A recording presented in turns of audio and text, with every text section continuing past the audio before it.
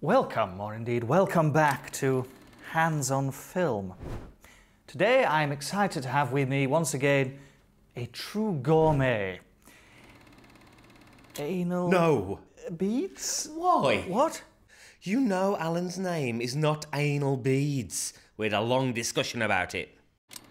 Then what is it? It's Alan. Uh, Alan Mead. Oh, yes, that's right. So, would you like to introduce the film?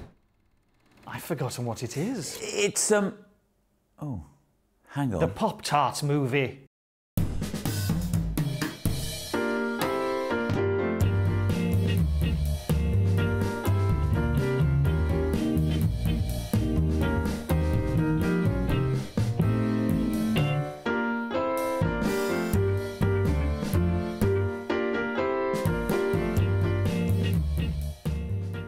No, it isn't actually called the Pop Tart movie, though, is it? It was some sort of documentary. No, it wasn't. Yes, that's right, about breakfast. It's called Unfrozen. No, I don't think so. It is. It's on the screen right behind you. Oh, uh, yes. So, do you like Pop Tarts, Alan? Pop Tarts? Yes, you know what the film is about. Well, I, um. Do you like them, Ben? Honestly, I don't know if I've ever had one.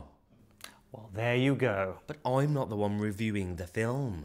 Anal, um, eh, Alan. Alan isn't a professional film reviewer, you know. Yes, I know that. He is a food connoisseur.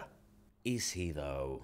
Well, I. I, I Have you read his blog? What, you mean the random pictures of pieces of cake? um, well, I. Not now, Alan. I have seen a couple of them. There you are then. Look, can we please just get on with the synopsis?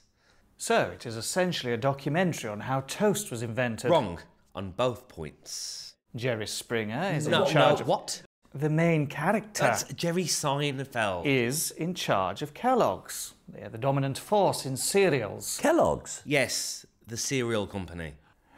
Oh, yes. They make Frosties. They do.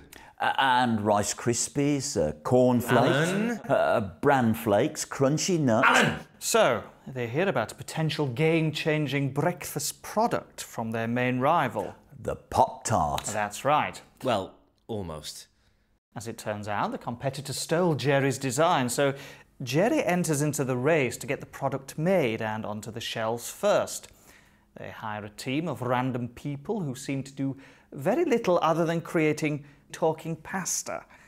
Oh, Jerry buys all the sugar supply to delay their rivals, who in turn get into bed with the Soviets. I don't remember that. It was a simile. A metaphor. What was? They're getting into bed. More of an expression, I'd say. Fine. Get on with it. Hmm. A metaphor. So, in a very laboured way, they come up with the design.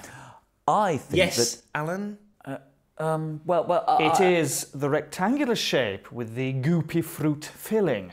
Yes, we know what a Pop Tart is. They put the Pop Tart in a toaster. Someone blows up. I have absolutely no idea why or who. There is a crazy funeral. Ooh, And did I mention they made some sort of fish square which has escaped? fish square. Uh, No, uh, pasta. Pasta. The mascots go on strike and they can't figure out the name for the Pop Tart. It is odd as it is on the box. Obvious, really. Thanks, Alan. Uh, you both know that the film is set in the past, so they wouldn't have known the title as they didn't have a bloody time machine. Well, that's just stupid. So the Pop Tart gets approval as well as the competitors, but everyone likes the Pop Tart more. Andy Warhol attempts to kill Jerry, but fails. The end. Andy Warhol. Yes? Okay, that's just great. Uh, can we move on to the discussion? Discussion. Yes. Um. Uh, okay. Any thoughts? thoughts? How about we start with what we liked? What I liked. The cast, for example. Jerry, Jerry, Uh, uh, why, Jerry. why are you doing that? Because of the cast. But that's for Jerry Springer. Exactly. It was Jerry Seinfeld. Aren't they the same person? What? Well, doesn't Jerry Seinfeld play Jerry Springer? Jerry, Jerry. Israel, Jerry. Israel, please. Or the other way round? What did we think about the cast? They were great. Okay. Oh, yes, Jerry was excellent. Ben said his name's Jerry Springer. I, I did not. Oh, what the hell is going on? And Hugh Grant, of course, was utterly brilliant as ever.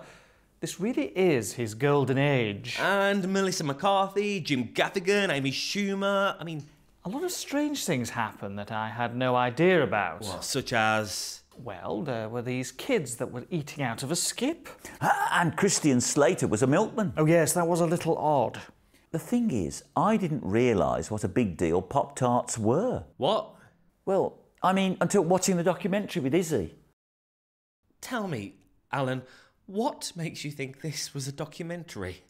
Well, I. I, I Any negatives? I don't think you can really have negatives for a documentary, as it is just a series of real life events. Okay.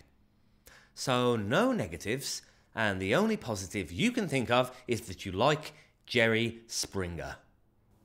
Yes, I think that is reasonable. Reasonable is not how I would describe any of this. Shall we just sum up?